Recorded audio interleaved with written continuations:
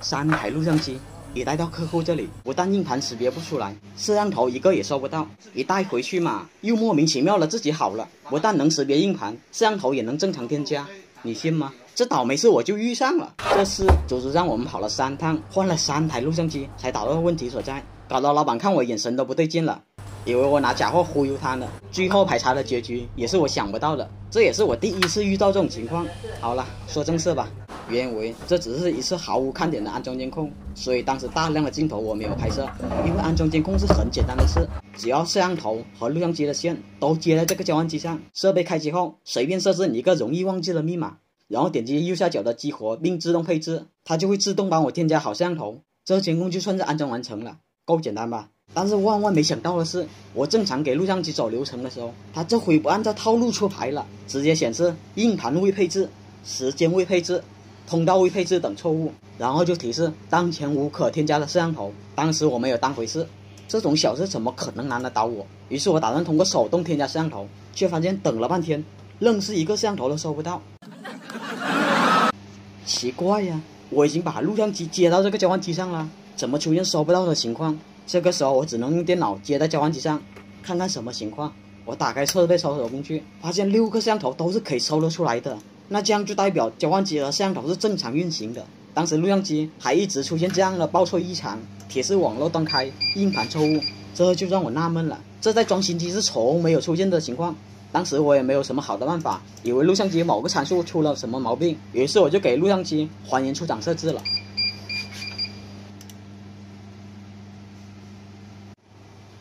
还原出厂完毕，等待开机后，我再次激活，发现还是出现硬盘、时间、通道等未配置，局域网无可添加的摄像头。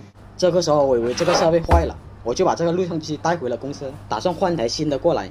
这事说来也怪，把这录像机带回来后，它就自己正常了，不但能识别硬盘，也可以收到摄像头。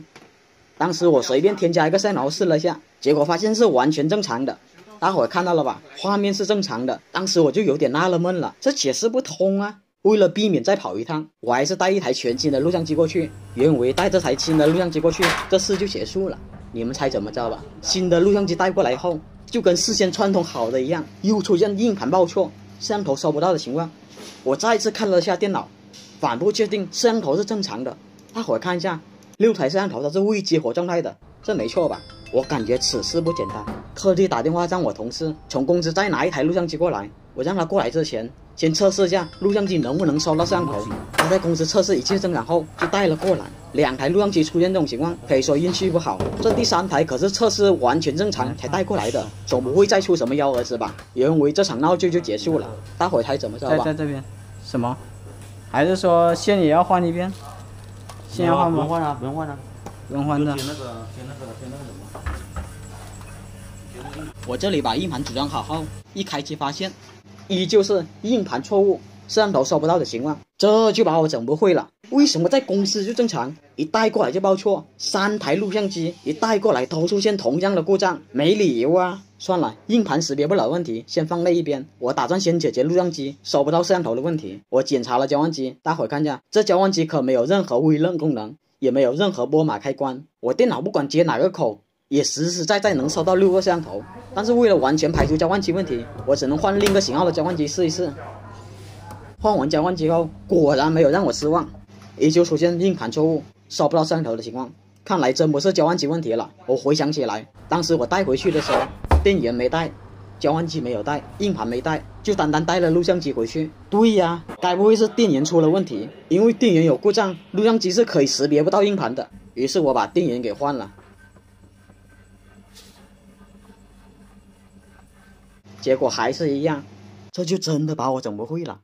后面我冷静下来想想，目前电源换了，交换机也换了，就差硬盘了。当时我就想着，干脆连硬盘也拆了，看看能不能收到摄像头先。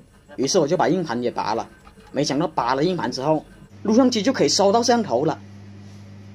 后面我再把硬盘装回去的时候，那奇怪的故障又出现了，摄像头又收不到了。